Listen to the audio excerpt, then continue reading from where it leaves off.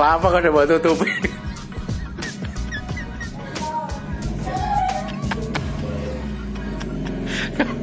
kau kesel?